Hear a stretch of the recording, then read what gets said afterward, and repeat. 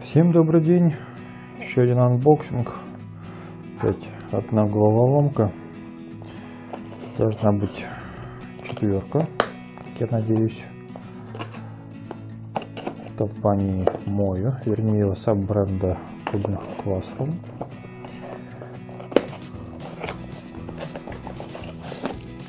Это бюджетная четверочка MF4C.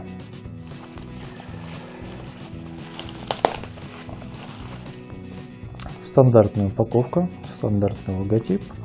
Я для сравнения тоже приготовил MF4S. Ну, посмотрим, что это за новая четверочка такая.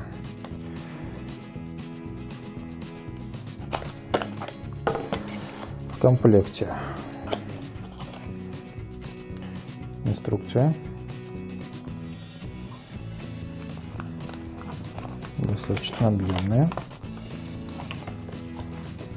Но ничего в ней нового нет.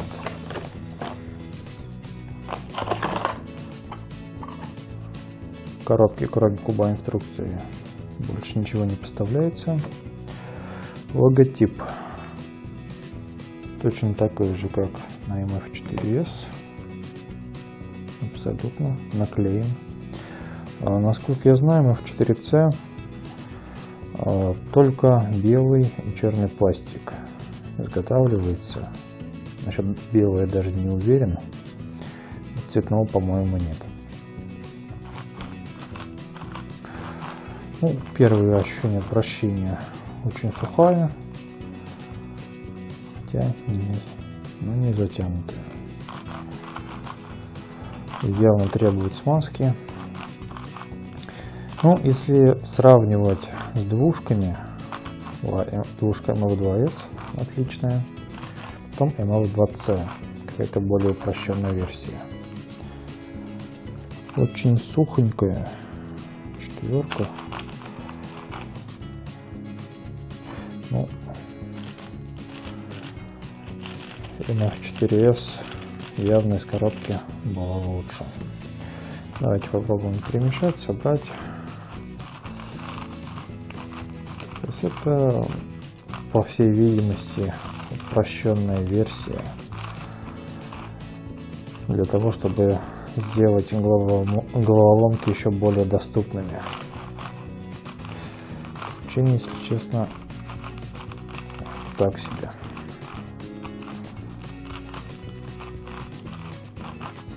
Застревает, вакапит.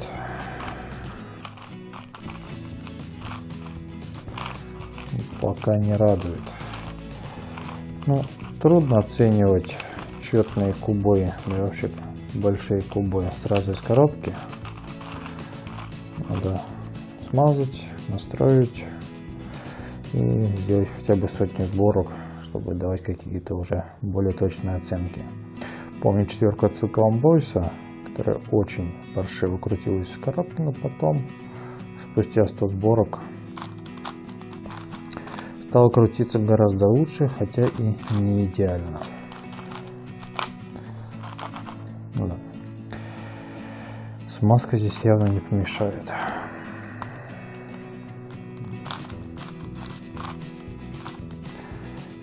Пока создается впечатление, что это далеко не самая лучшая головоломка для новичков даже.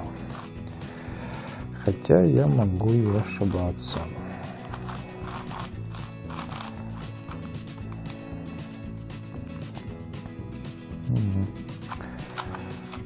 Цвета стандартные для стикерных версий головоломок любых от компании Мою, флуоресцентные, ну, полуфлю. Застревание вполне серьезное. То есть нет той свободы вращения, к которой мы уже привыкли, ну, к которой я привык.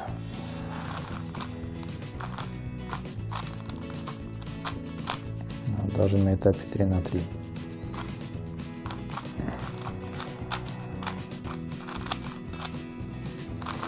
Вот. Пока не радует. Совсем. Ну, рано что-то говорить. Смажу покручу, но это, наверное, не в самом ближайшем будущем. Займусь настройкой и полной плотной оценкой этого куба. Но это обязательно произойдет. Как я люблю, сразу два паритета.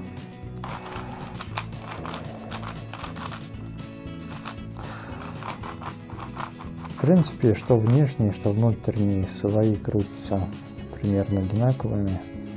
И тут я глянул сбоку от камеры и понял, что паритета там и не было. Я его прокрутил совершенно зря.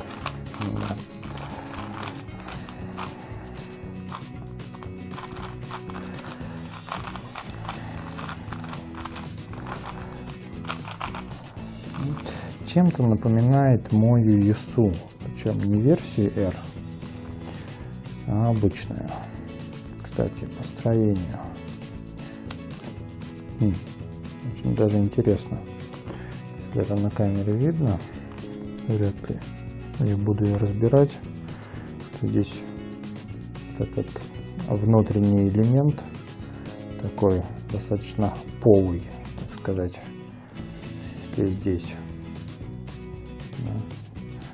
полноценное такое внутреннее ребро, здесь, ну как на двушке Юксин White, что подобное я уже видел.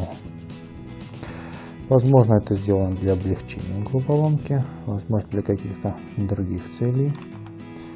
Так, на самих элементов ничего особенного нет, ни рельсов. И так же, как на MF4S. Но кручение MF4S значительно лучше. Так что, если сомневаетесь между этими двумя моделями, по крайней мере, по впечатлениям из коробки, MF4S значительно лучше, чем MF4C. Ну, взял для коллекции, пусть будет, покручу. Вряд ли оно претендует на звание лучшей бюджетной четверки, но посмотрим. На этом сегодня все. Всем спасибо, всем пока.